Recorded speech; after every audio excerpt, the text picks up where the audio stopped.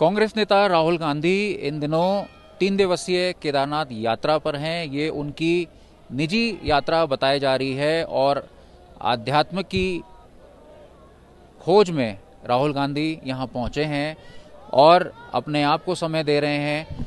हम आपको दिखाते हैं कि राहुल गांधी मेरे पीछे काबरा निकेतन में ठहरे हैं और उस साधारण कमरे में वो अपना समय व्यतीत कर रहे हैं।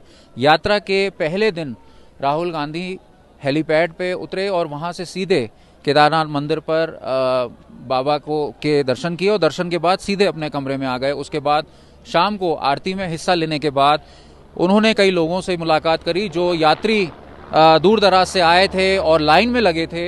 उनको चाय भी पिलाई और उनसे चर्चा भी करी।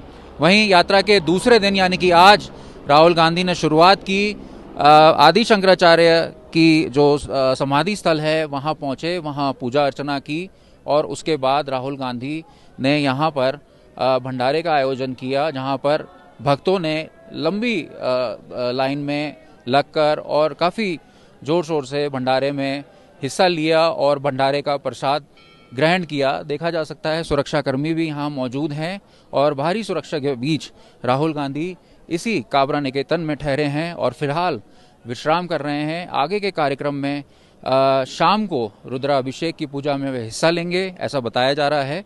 और कल सुबह राहुल गांधी वापस दिल्ली जा सकते हैं। हालाँकि जो उनके नज़दीकी हैं उनका कहना है कि राहुल गांधी एक दो दिन और ठहर सकते हैं। और ये उनकी निजी यात्रा है इसमें फ़िलहाल कोई कार्यक्रम नहीं आया है।